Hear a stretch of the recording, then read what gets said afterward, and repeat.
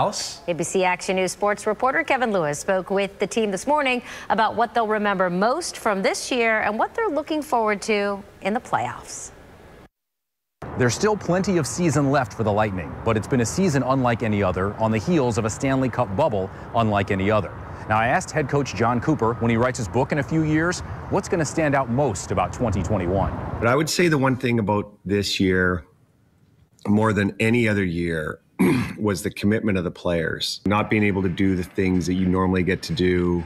And I think it was, a, it was trying on the players, trying to get in a season during a pandemic, and and that's not an easy thing to do. I'll probably remember that as as this being one, if not the toughest regular season to play in, even if it was just 56 games. The next time the Lightning take home ice will be in the first round of the playoffs. Now, attendance will be up to 7,000 fans, which will probably feel more like 70,000. We're looking forward to having some more fans in, in the rink. It, you know, our fans are such a big part of of the atmosphere, uh, especially come playoff time. So it's going to be great to see.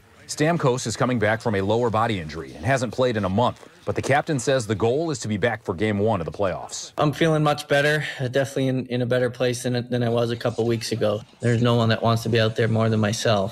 The puck drops tonight at 7. Backup goaltender Curtis McElhinney is in the net. And the Bolts, currently second in the Central Division, trying to chase down Carolina for the top spot. In Thunder Alley, I'm Kevin Lewis, ABC Action News.